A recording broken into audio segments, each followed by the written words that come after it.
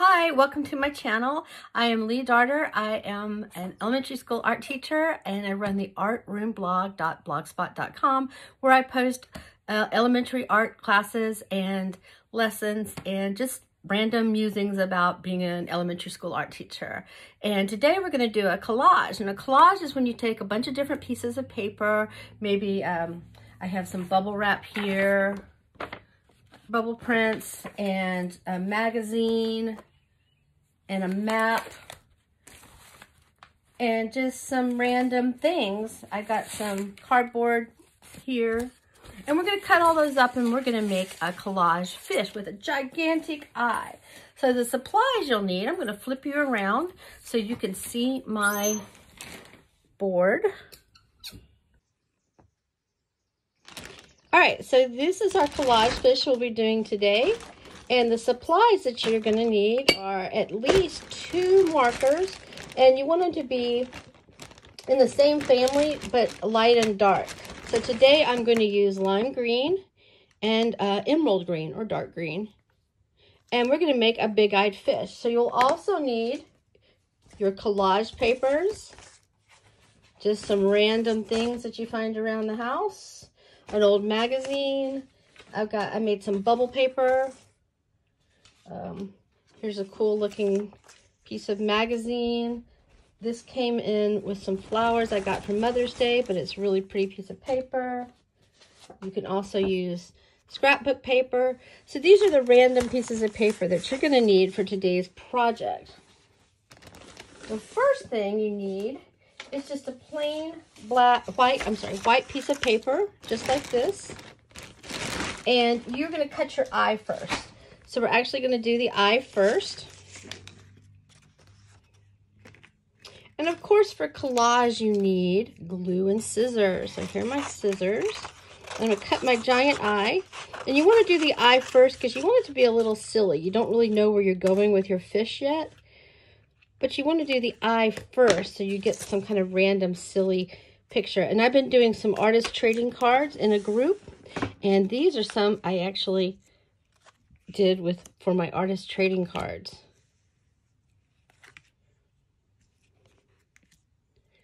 So I'm doing the big-eyed fish for my artist trading cards. So I've cut out my circle. Now I need to get something to draw under because I don't want to get my table all any, any dirtier than it already is because it's pretty messy. I'm going to take my Sharpie or you could use a marker and I'm going to color around the edge all the way around so that there's a nice black line. And just going to go all the way around with it. Yeah, I just want a nice big black line around it. Get all the white out of it. There we go. That's done. Now I'm going to put another ring. And one more. That'll be the pupil. And if you'd like to add highlights, I like to add highlights to mine. So I'm going to do another one. I'm going to color my pupil black. There you go. That's all done. Now I'm going to take my lighter of my two markers and I'm going to color that in. And I like to use the Crayola washable markers because they blend really well. And you can actually use them as watercolor markers on the cheap. So I've got my lighter color in. Now I'm going to take my darker color and I'm working in the same family of colors, the green. You can pick any two colors you want. And I'm just putting little lines all the way around. And I like to outline the pupil too. So I'm just going all the way around until I get back to where I started.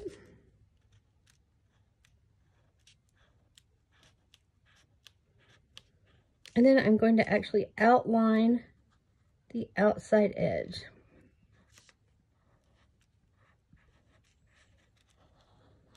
And if you see any spaces that are kind of wide, you can go back and put another line in there, which I feel like I needed to do. All right, so my eye is done. I feel like I got a little random line going here. I'm going to color that in.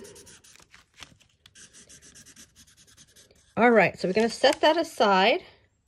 We're going to put that up there. And now we're going to start making our fish. So in this one, I made two fish. And I used my bubble paper to put bubbles in here. And I put some seaweed at the bottom. So I'm going to find a clean sheet of paper in my journal somewhere. There's got to be one. There it is.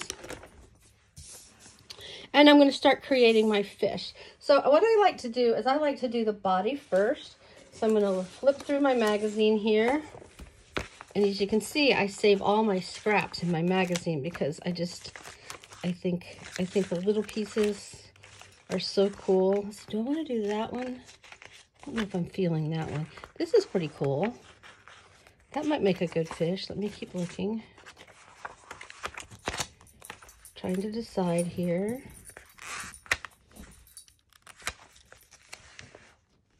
Some of these look kind of fun. Oh, what about this one? That looks kind of cool. Jen Stark. Oh, yeah, let me show you her while we're here. Let's see.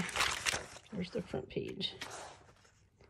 This is some of Jen Stark's work. Oh, these would make great fish. Yep, there she is.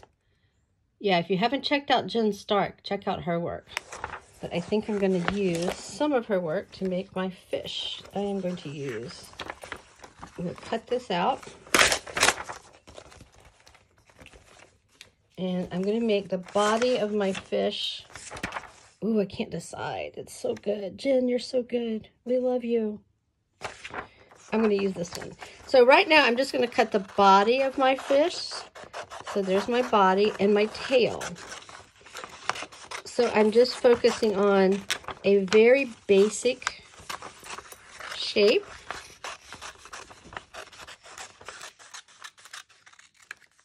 Like this. All right, and what I like to do is I like to use a little pad, or I use um, a, oh, these are paper plates to do my gluing on.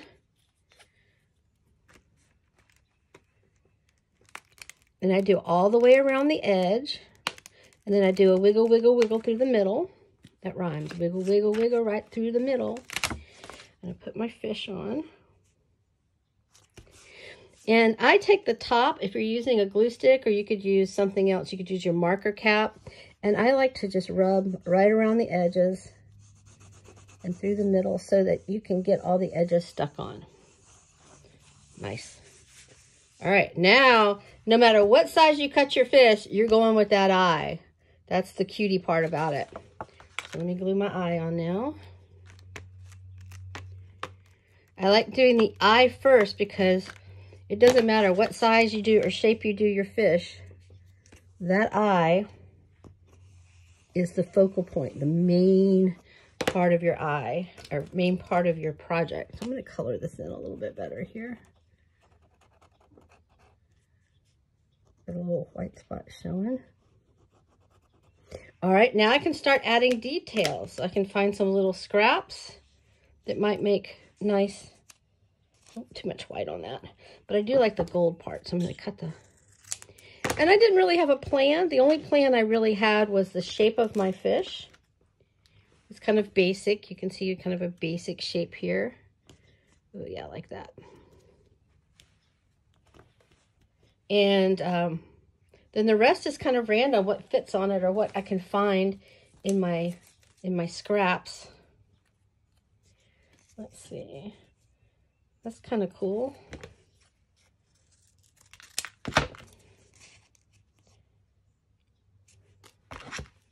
So I'm going to make the top fin.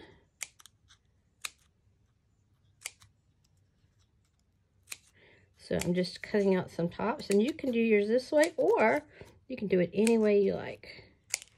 I just really, really liked this little scrap here. Yep, I like the way that looks. And then I like to put on um, a side fin as well. And I think what I'd like to use for my side fin was that lovely corrugated paper. that I got out of a, um, an Amazon box. I think that'll make a nice side fin there.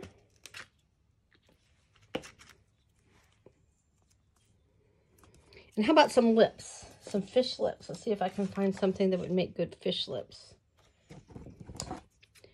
Because he's got that cute big eye. He needs some cute lips.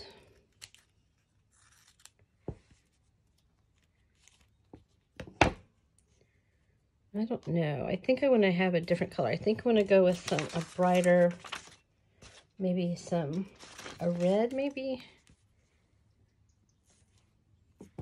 Let's see. Sometimes I just don't know if it's going to work or not, and I try a couple different things, but I save them because it may not work on this fish. Yep, like that. So it may not work on this fish, but I could save those lips for another fish, and then I could just have a, a container of fish lips. All right. Fish lips. So there you go. That's how you make a big-eyed fish. Now, if you want to add some more stuff, like seaweeds down at the bottom, I could do that. I have this scrap paper that looks like it would make some, some good seaweed down here at the bottom. I'm just going to wiggle, wiggle, wiggle and play with that. That looks kind of fun. Now I've got a nice piece here.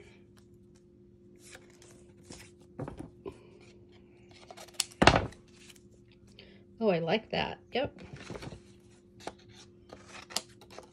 This, this paper made for very good seaweed. Maybe another piece in front there.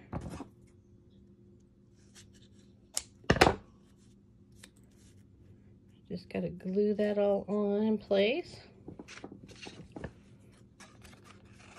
Maybe some seaweed growing up too.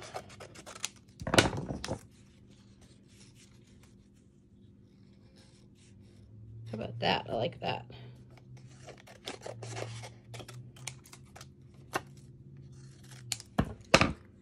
That's pretty cool. I just, I, collage is one of my favorite ways to create art, create art, create art, can't talk, create art, because you can just kind of have an idea of what you want to do, and then you can just start adding stuff on. And I love all the happy accidents that you find when you're looking through the magazines and the old paper. That's pretty cool. I think this would make some good bubbles going up. So double that over cut some circles out. Now, I want you to notice I'm moving my paper and not my scissors. I'm going to show you that again. Little bubbles coming out of his mouth there. So watch what I do. So I take my piece of paper. I'm going to fold it over because I want a couple bubbles out of this. Now watch my scissors. My scissors are staying in place. It is my paper that's moving. I'm just slightly turning it. I'm ever so slightly turning it. And I can add some bubbles in there. Oh, it jumped off the page. It's very jumpy. There it goes. I think I might like to have another layer of a different color. I think I'm going to use that pretty, this is kind of a, I don't know what it is. I really don't know what it is. It's kind of a fiber paper, but it, I got some flowers for Mother's Day and it was wrapped up in there. And so I'm going to try making some seaweed out of this. Oh, look how pretty. So I, I try to keep a lot of stuff. I like to recycle things. And I just don't want to throw things away that'll get into the landfill. I'm trying to keep the landfill clean as much as possible. All right, so there we go. Thank you for joining me, and um, I hope you try this. My email is artroomblog at yahoo.com if you'd like to email me, and my Facebook page is artroomblog, and my blog is artroomblog.blogspot.com. It's been great seeing you. Thank you for joining me. Bye.